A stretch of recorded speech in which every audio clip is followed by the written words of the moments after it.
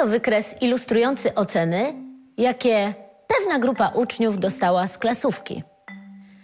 Na poziomej osi mamy oceny, na pionowej liczbę uczniów, jaka daną ocenę otrzymała.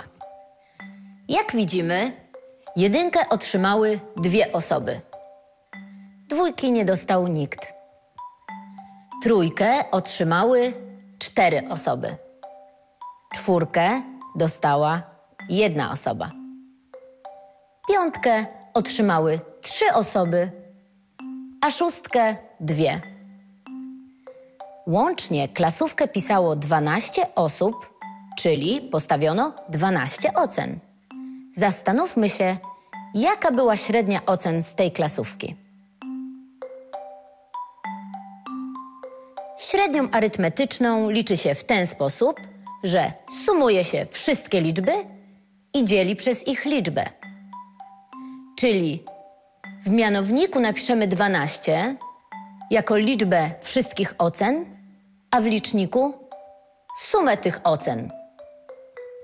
Czyli średnia będzie równa 45 podzielone przez 12, a więc 3,75 setnych.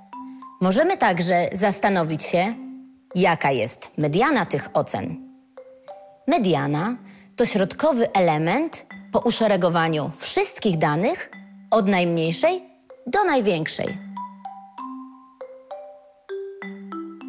Jeżeli tak, jak w tym wypadku, danych jest parzysta liczba elementów, to mediana będzie równa średniej z dwóch środkowych elementów.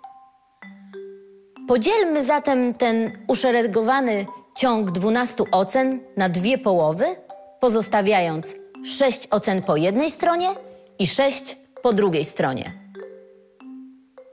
Dwie oceny stojące najbliżej linii podziału to trójka i czwórka. Zatem mediana będzie równa średniej z tych dwóch ocen. Widzimy zatem, że mediana nie musi być równa średniej arytmetycznej. Może być też tak, że mediana i średnia arytmetyczna są równe. Zobaczmy, co by było w naszym przykładzie, gdyby jeden z uczniów, który dostał jedynkę, nie pisał tej klasówki. Wtedy średnia byłaby równa sumie ocen podzielonej przez ich liczbę, czyli 44 podzielone przez 11, a więc 4. Mediany dla 11 liczb policzyć jest łatwo. Wystarczy uszeregować je od najmniejszej do największej i wziąć środkową z nich. W tym przypadku mediana też wychodzi 4, czyli dokładnie tak samo jak średnia arytmetyczna.